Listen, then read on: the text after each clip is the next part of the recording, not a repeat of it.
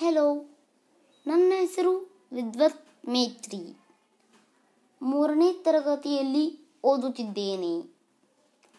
ಸ್ಪರ್ಧಾ ವಿದ್ವತ್ ನವೋದಯ ಸೈನಿಕ್ ತರಬೇತಿ ಕೇಂದ್ರ ಯಾದಗಿರಿ. ನಾವು ಎಲ್ಲ ವಿದ್ಯಾರ್ಥಿಗಳಿಗಾಗಿ ಕನ್ನಡ ಮಾಡೆಲ್ ಪ್ಯಾಸೇಜ್ ರೀಡಿಂಗ್ ಜೊತೆ ಪ್ರಶ್ನೆಗಳು ನೀಡುತ್ತಿದ್ದೇವೆ. ಚೆನ್ನಾಗಿ ಆಲಿಸಿರಿ. ಕೇಳುವ ಪ್ರಶ್ನೆಗಳಿಗೆ ಉತ್ತರಗಳನ್ನು ಕಮೆಂಟ್ ಸೆಕ್ಷನ್ನಲ್ಲಿ ಬರೆದು ತಿಳಿಸಿ. ಗದ್ಯಭಾಗ ಹತ್ತೊಂಬತ್ತು. ಸುಮಾರು ಒಂದು ನೂರ ಅರವತ್ತೈದು ಮಿಲಿಯನ್ ವರ್ಷಗಳ ಹಿಂದೆ ಡೈನೋಸಾರಗಳು ಈ ಭೂಮಿಯ ಒಡೆಯರಾಗಿದ್ದವು. ಗಾಳಿಯಲ್ಲಿ ಹಾರಲು ಶಕ್ತವಾಗಿದ್ದವು. ಮತ್ತೆ ಕೆಲವು ನೆಲದ ಮೇಲೆ ವಾಸಿಸುತ್ತಿದ್ದವು. ಹೀಗೆ ಅರವತ್ತೈದು ಮಿಲಿಯನ್ ವರ್ಷಗಳ ಹಿಂದೆ ಅವು ಸಂಪೂರ್ಣವಾಗಿ ನಾಶವಾದವು. ಅವುಗಳಲ್ಲಿ ಕೆಲವು ಪಳೆಯುಳಿಕೆ ಆದವು. ಪಳೆಯುಳಿಕೆಯಲ್ಲಿ ಸಿಕ್ಕ ಮೂಳೆಗಳನ್ನು ವಿಜ್ಞಾನಿಗಳು ಜೋಡಿಸಿ ವಿವಿಧ ಡೈನೋಸಾರಗಳ ಅಸ್ಥಿಪಂಜರಗಳನ್ನು ಪುನಾರಚಿಸಿದರು. ಇಂತಹ ಅಸ್ಥಿಪಂಜರಗಳನ್ನು ಅಮೆರಿಕಾದ ಪ್ರಕೃತಿ ಚರಿತ್ರೆ ವಸ್ತು ಸಂಗ್ರಹಾಲಯಗಳಲ್ಲಿ ನೋಡಬಹುದು. ಅವುಗಳ ಆಧಾರದ ಮೇಲೆ ಡೈನೋಸಾರಗಳು ಹೀಗಿದ್ದಿರಬೇಕೆಂದು ಊಹಿಸಬಹುದು. ಇಂತಹ ಕುರುಹುಗಳ ಆಧಾರದ ಮೇಲೆ ಸ್ಪೀಲ್ಬರ್ಗ್ನು ವಿವಿಧ ಡೈನೋಸಾರಗಳ ದೃಶ್ಯಗಳನ್ನು ಪುನರ್ರಚಿಸಿ ಚರಾಸಿಕ್ ಪಾರ್ಕ್ ಎಂಬ ಚಲನಚಿತ್ರ ನಿರ್ಮಿಸಿದನು. ಅದು ಪ್ರೇಕ್ಷಕರ ಮೆದುಳಿಗೆ ಕಸರತ್ತು ಕೊಡುವಂತೆ ಮಾಡಿದೆ.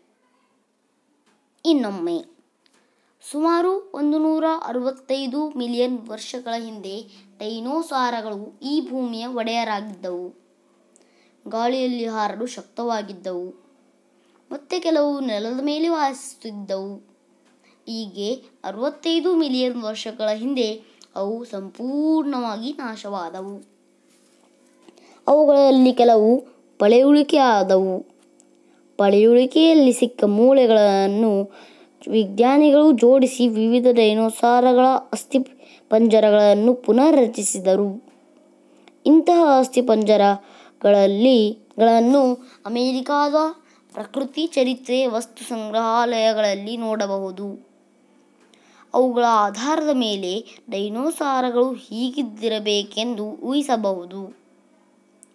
ಇಂತಹ ಕುರುಹುಗಳ ಆಧಾರದ ಮೇಲೆ ಸ್ಪೀಲ್ಬರ್ಗ್ನು ವಿವಿಧ ಡೈನೋಸಾರಗಳ ದೃಶ್ಯಗಳನ್ನು ಪುನರ್ರಚಿಸಿ ಚರಾಸಿಕ್ ಪಾರ್ಕ್ ಎಂಬ ಚಲನಚಿತ್ರ ನಿರ್ಮಿಸಿದನು ಅದು ಪ್ರೇಕ್ಷಕರ ಮೆದುಳಿಗೆ ಕಸರತ್ತು ಕೊಡುವಂತೆ ಮಾಡಿದೆ.